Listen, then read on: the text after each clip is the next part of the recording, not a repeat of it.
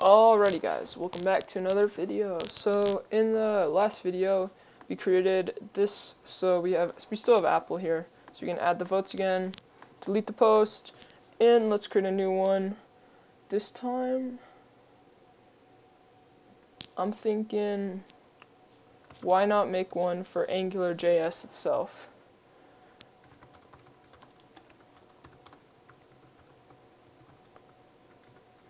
So yeah, we can just continue to make another post. Oops, not KS.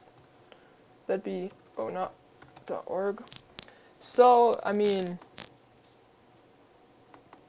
it's pretty simple. We got votes, the update, and we can delete the post, and it's now gone. So, I'm thinking about, we gotta spice up the CSS a bit. So, what I'm thinking we should do is just make it a bit more attractive and a bit better.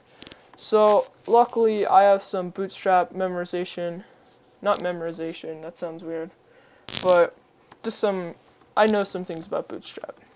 So we can do class form dash group, and then we can cut this out, and then instead of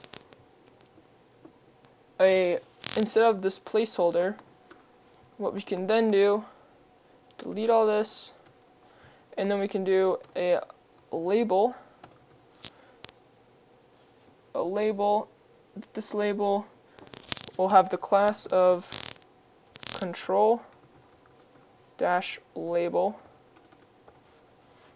and then it's gonna basically have a if we, I'm just thinking it'd look really cool if we had a focused input. So we can do for focused input. So in this focused input, then inside this label we can just do post name. And simple as that, now should look a bit better. Alright, I totally forgot that we also have to add the class in this for form dash controller. And, sorry, not form dash controller, form dash control. And whoa, it's pretty big. So, what I'm thinking what we gotta do is probably add some custom styling. So I'm gonna go into our index.html, just do a style on the body and make it margin or no, let's change it to width 80% and then margin 0 auto. So that should align everything to the center and bam, that looks a ton better. So now what we did is we can do the exact same thing for the other ones. I'm going to stop the video right here and I'll catch you guys right as I finish that. Alrighty guys, so I'm back. I hope you had fun in that break while you guys just finished doing that.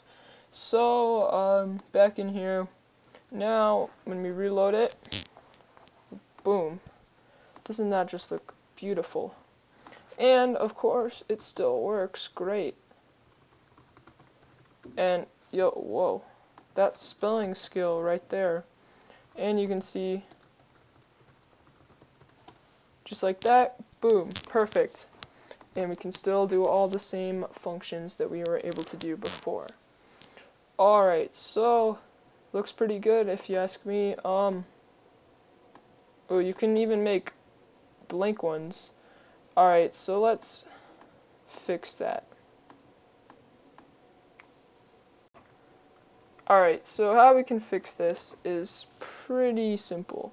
So the first thing we're going to do is we're going to just create a giant if statement that's going to encounter every, or encounter, I don't think that's the right word, but hold everything that is in our save posts. It's pretty much basically post.name and post.description and post.url.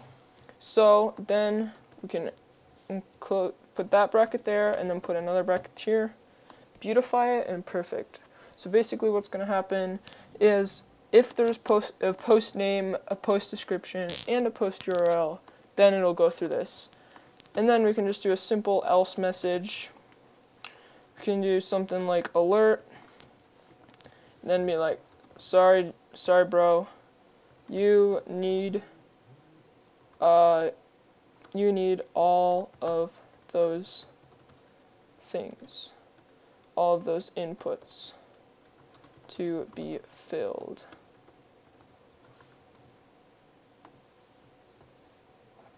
Cool. So now we can test it.